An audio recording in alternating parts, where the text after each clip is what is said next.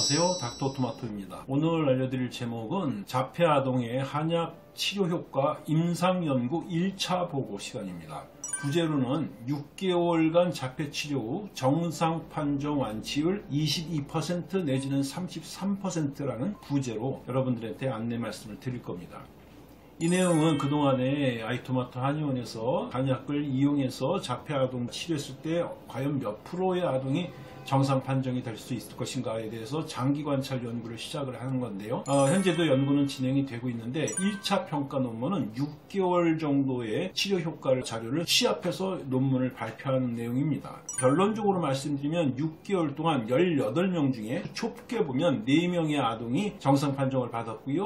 넓게 보면 6명의 아동을 정상 판정을 받은 걸로 볼 수 있다는 내용입니다. 그래서 정상 판 6개월 치료 정상 판정률이 좁게 보면 22%고 넓게 보면 33%라고 볼 수 있습니다. 어, 제가 도표를 갖다 보면서 설명을 드릴게요. 지금 위에서 도표가 뜰 텐데요. 에, 저희가 22%인지 33% 혼돈하면서 말씀드린 이유는요. 논문 제작할 때는 그 내용들을 조정을 하겠지만 에, 저희가 ADOS를 기준으로 정상 판정하는 것을 원칙으로 삼았기 때문입니다. ADOS를 기준으로 정상 판정을 한 것을 판단한다면 22%의 정상 판정률이 나옵니다. 도표에서 쭉 보시면 18명의 아이들이 나오는 자폐증, 자폐 스펙트럼, 비스펙트럼이라는 세 가지로 분류가 되어 있는데요. ADOS 2에서 분류를 해놓은 겁니다. 저희가 ADOS가 가장 정확한 검사로 보기 때문에 ADOS를 통해서 자폐증 내지는 자폐 스펙트럼이라는 범주에 들어간 아이들만을 상대로 해서 치료를 시작한 겁니다. 그 18명 이 자폐증이 상당히 심한 중증 자폐라고 이해하시면 되고요. 자폐 스펙트럼이 좀 경증의 자폐라고 이해하시면 됩니다. 그리고 비스펙트럼은 약간의 발달 지연이 있지만 자폐적 성향을 벗어난 아동이라고 이해하시면 돼요. 시작을 할 때 보면 자폐증인 아이들이 과반이 넘습니다. 한 55% 되고 자폐 스펙트럼인 아동이 45%가 되니까 아이들 중에 과반 이상이 중증 자폐인 아동을 대상으로 임상 연구를 시작을 한 거예요. 여기서 완치의 기준은 뭘로 삼은 거냐면 어떤 식으로 간에 자폐 성향을 벗어나서 비스펙트럼이라는 경향이 나온 아동들 갖다가 뽑아보니까 번호에서 7번, 9번, 10번, 8번 자폐증이었던 애가 비스펙트럼으로 됐죠. 중증 자폐인 애가 2명이 자폐를 벗어난 걸로 됐고요. 6개월 동안. 자폐 스펙트럼인 경증인 자폐인 애들 2명도 비스펙트럼으로 자폐를 벗어난 걸로 나왔습니다. 이렇게 자폐를 벗어난 걸로 평가된 애를 갖다 완치라고 얘기해 볼 거고요.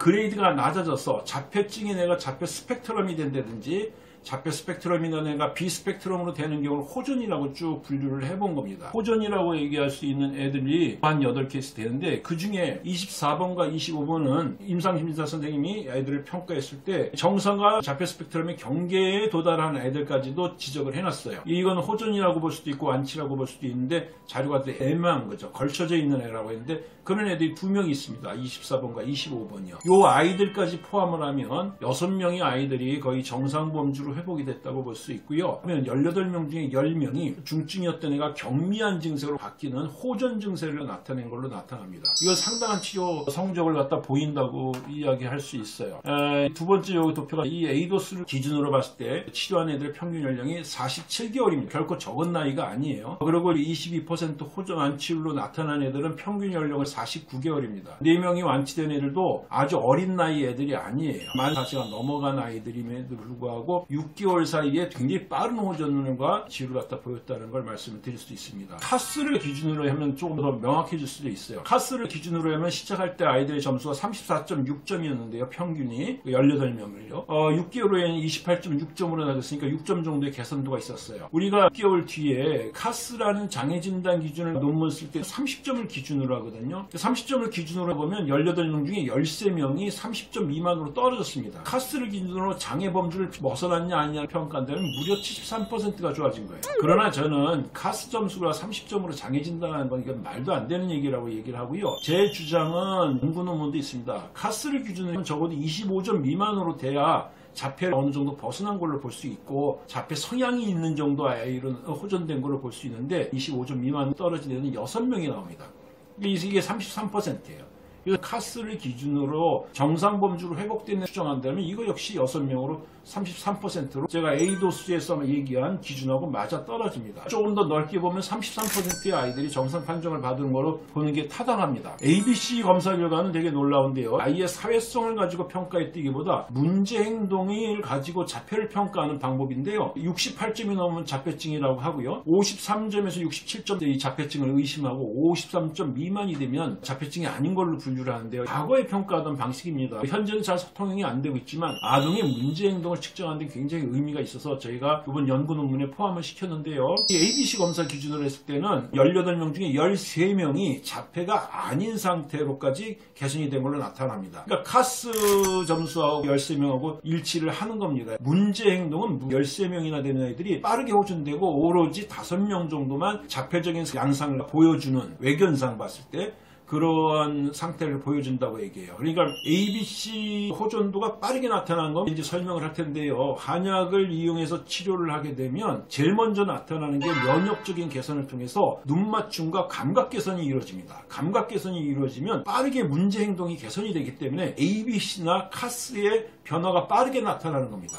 6개월 동안 그 이 13명 정도에 해당하는 애들이 CARS나 ABC를 기준으로 문제 행동이 현격하게 줄었다. 이거는 73%에 해당되거든요. 이런 굉장히 빠른 성과들입니다. 예. 그러나 ADOS 같은 경우는 감각적인 장애를 개선하는 걸 넘어서 아이가 사회적인 상호작용 능력까지 완전히 회복됐을 때 정상 판정을 받아본 걸로 나오기 때문에 33% 정도 아이들이 정상적인 범주로 회복된 걸로 나타날 수 있어요. 네 번째로는 저희가 SMS를 해서 사회성숙도 검사를 했었는데 에서는 더 얕게 나타납니다. 왜냐하면 사회성숙도 검사가 시작할 때 도표에서 70.4% 정도였는데 78.8%로 6개월 후에 상승을 하거든요. 그러니까 8.4% 정도의 향상들이 있는데 이것도 굉장히 큰 성과입니다. 큰 성과지만 정상 범주로 된다면 70.4가 아니라 90점까지도 넘어가야겠죠. 85, 90 정도까지는 가야 정상 범주로 회복이 됐다고 할 수 있는데 SMS의 변화는 느리게 나타납니다. 왜냐하면 아이들이 한방 치료를 하게 되면 처음에 면역 이상이 호전되고요, 눈 맞춤이 호전되고 감각 장애가 개선이 되면 사회적인 상호작용 능력이 개선되기 시작합니다. 이게 느리게 이루어져요. 그래서 주로 많은 애들이 평균적으로 3개월, 4개월, 5개월 굉장히 능동적인 상호작용 능력을 이제 갖추게 되면 그때부터 사회적인 성숙도가 올라가는 속도가 확 나기 시작합니다. 그래서 6개월, 7개월, 8개월, 9개월 넘어와서 한 1년 정도 되는 과정을 거치면서 이 사회 성숙도가 급격하게 향상되는 경향이 있습니다. 자 그런 의미에서 SMS가 좀 물가보다 느리게 나타나지만 이것도 큰 겁니다. 6개월 동안 한 10 가까이인 수치의 개선이 이루어졌다는 것은 그 SMS로 지능을 추정하기도 하거든요. 70 정도의 지능에서 80 정도의 지능으로 호전된 것들을 볼 수 있어요. 이것만 해도 굉장히 큰 성과라고 저는 생각을 하고요. 제가 이 검사 결과를 1차 보고하면서 갖는 아쉬움들이 있습니다. 여러 가지 아쉬움들이 있지만 가장 큰 아쉬움은 뭐냐면 저희가 희망하는 대상 연령들을 조작을 하지 않 았어요. 어린 아이들일수록 치료율이 높게 나타나고 나이가 많을수록 치료율이 떨어져서 나타나는 건 너무 명백하거든요. 근데 시작한 아이들의 평균 연령이 47개월이니까 만 4세가 다 넘는 아이들이야. 4세, 5세가 넘는 주로 연령이 많은 아이들이 주로 이 연구에 참여를 했다라는 사실입니다. 그러면 치료 성과 자체가 낮게 나타날 수밖에 없어요. 그래서 아 연령 균형을 맞췄대려면 저희가 예를 들면 30개월 미만 몇 프로 이렇게 해서 균형을 맞췄으면 좋았을 텐데 그냥 희망자에 한해서 연구노를 진행하다 보니까 어, 연령이 사실상 만 4세 이상인 아동들의 연구 논문으로 된 겁니다 이게. 그래서 이 결론들을 보면 만 4세 이상에서 6개월 정도 치료했을 때 대략 33%의 아이들이 정상 범주로 회복이 되더라요. 6개월입니다 6개월.